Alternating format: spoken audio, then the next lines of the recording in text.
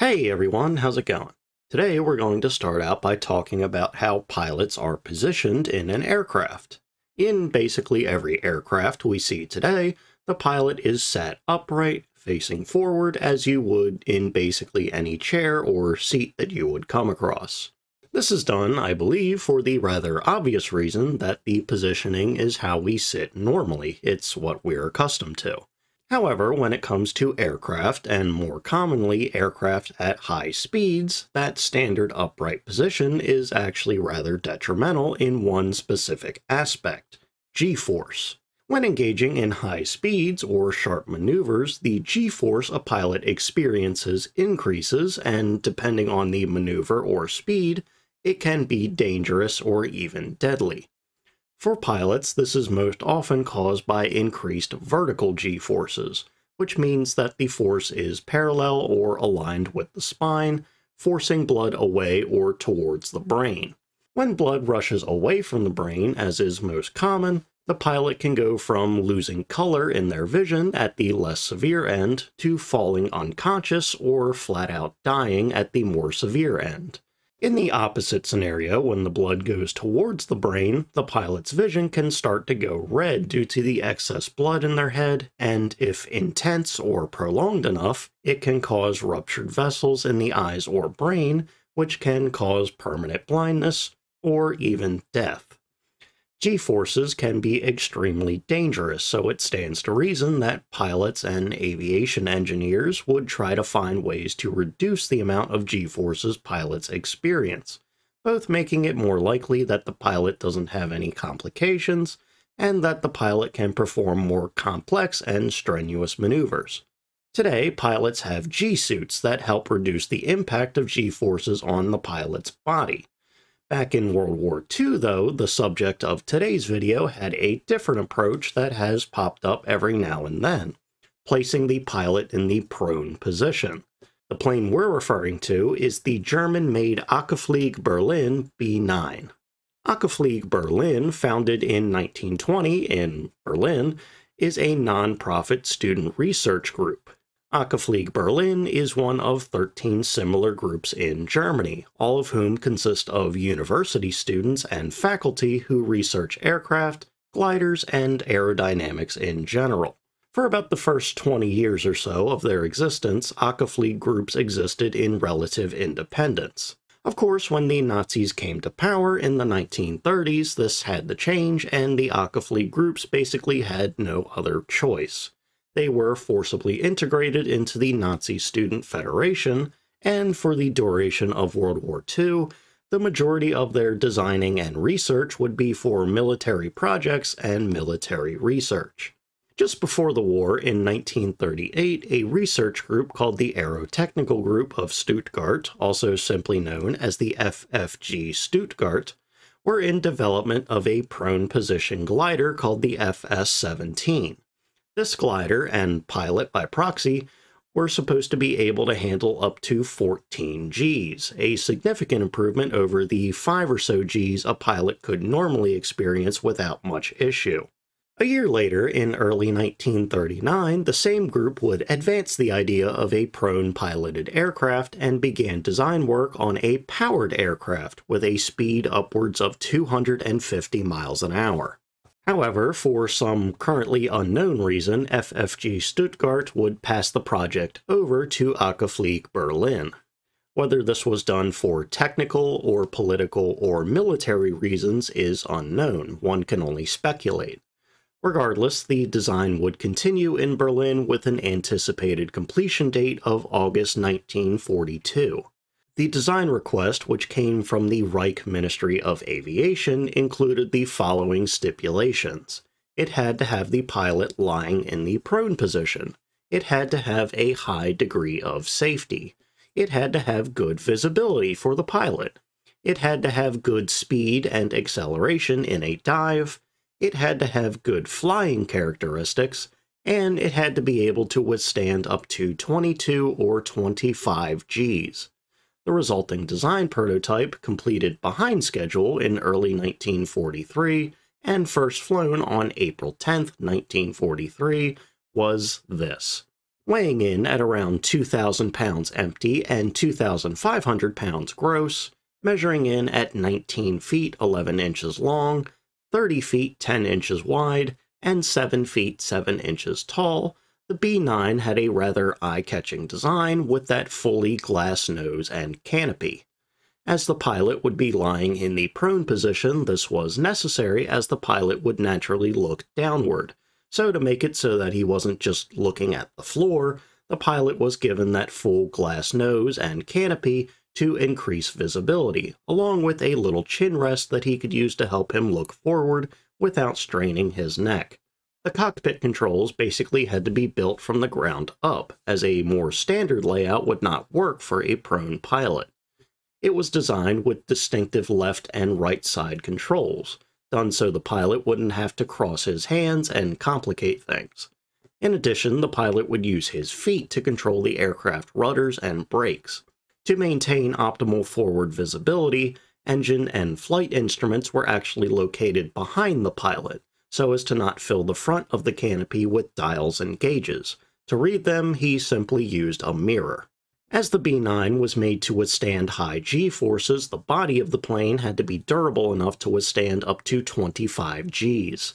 The B-9 would have a trapezoidal steel airframe covered with wood and canvas.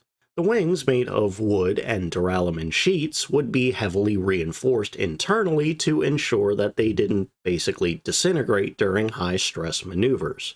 The rather boxy-looking engines, located under each wing, were Hirth HM500 air-cooled engines, each with just 103 horsepower.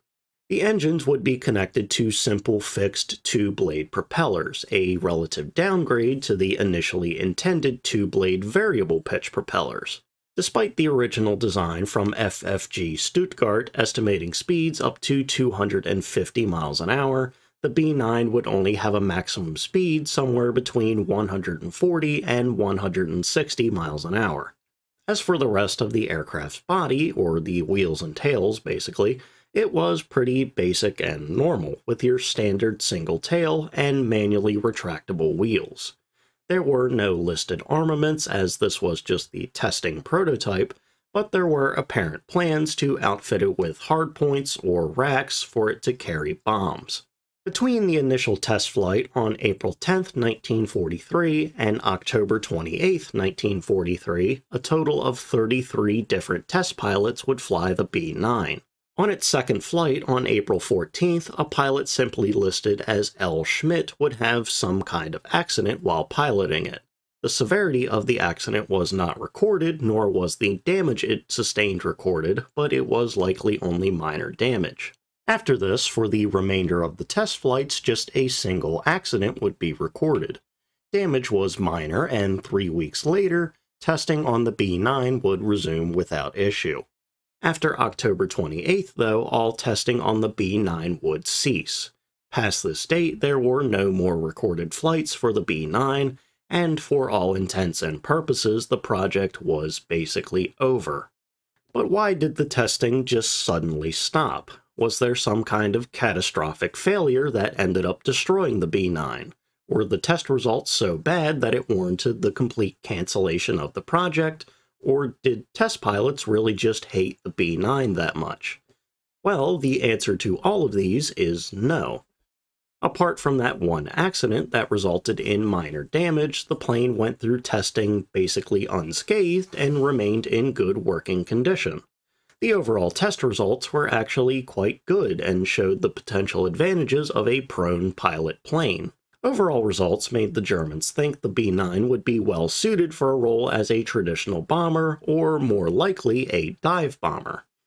In more standard aircraft where the pilots are seated as normal, the maximum g-force they can withstand is something like 6 g's without any extra equipment for just a few seconds before they would fall unconscious and the average g-force somebody can endure before passing out is something like 4.6 g's, but pilots are typically more accustomed to it through training and can handle a bit more as a result. In the testing for the B-9, they found that the pilots could withstand up to 8.5 Gs on the pull-up from a dive, and 6 Gs over several seconds in steep spiral climbs. If the pilots had been seated normally in these tests, they would have passed out rather quickly. In the B-9, though, the pilots reportedly did not experience any adverse effects despite the increased level of Gs they were experiencing. There is no record of them even experiencing color loss or tunnel vision. In many cases, the pilots didn't even know they were experiencing the level of Gs that they were. It should be noted as well that they only reached 8.5 Gs because the plane's top speed was just too low to hit anything higher than that. But clearly the prone positioning had a significant positive impact. After the pilots conducted their flights, they were reportedly rather happy with the comfort and layout of the cockpit. There was a bit of a learning curve, to be sure, and pilots didn't really like the chin rest, but the chin rest was necessary to give their head the support it needed, and the pilots would generally become accustomed to it. After a few test flights, pilots could generally fly for around an hour and a half before they started feeling any discomfort. Some small adjustments were made to the controls at the recommendation of the pilots, but otherwise, pilots were happy with the control scheme once they adjusted to it. The only real issue involved the pilot's legs. If the foot controls were not properly adjusted for the pilot's height, it would make the plane much harder to control. Additionally, several of the pilots had issues with their legs cramping mid-flight. This issue was rather easily remedied by having the pilots perform some simple leg exercises beforehand. All in all, though, comfort was certainly not much of an issue. So with the B9 prototype surviving, its testing proving very successful, and with pilots liking it, what happened to it? Why did testing suddenly cease? Any information on exactly why seems to not exist, but I think the answer lies in what was happening in late 1943. On September 3rd, Germany lost its main European ally when Italy would surrender to Allied forces meaning that Germany had to scramble to secure Italian territory and defend Germany's southern border basically on their own. Italy, for their part, or at least the portion of it that was controlled by the Allies, would declare war on Germany a month later on October 13th. On October 22nd, a major Allied bombing run on the city of Kassel resulted in a week-long firestorm that made tens of thousands of people homeless and killed thousands more.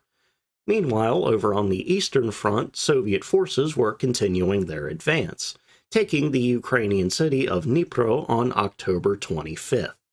So, with all these things happening to Germany, a war on all sides of the German mainland and their cities being firebombed, what I think happened is that they abandoned the project to focus specifically on the defense of Germany Of course, Hitler still wanted his super weapons like the V-2 rockets and eventual jet fighters, but Germany right now needed all hands on deck to produce weapons for the defense of Germany.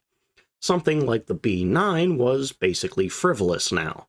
What good would a slow dive bomber with basically no upward visibility give them right now?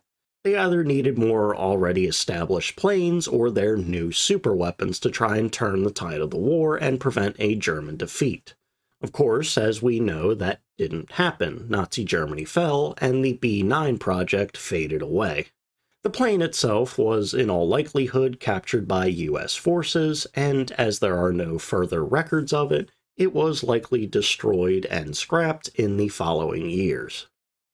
Alright, and with that, I think we'll go ahead and end for today. So, thank you all for watching the video. Remember to like, comment, and subscribe. This may sound kind of odd, but this plane actually reminds me of an old Hot Wheels car called Double Vision. I can't really explain why, and there's actually another plane that's much more similar to that, but it just does for some reason. Some kind of weird memory association going on in my brain in that one. But anyway, I hope you liked the video, I hope you watch my next one, and I hope you learned something from this one. So, see ya!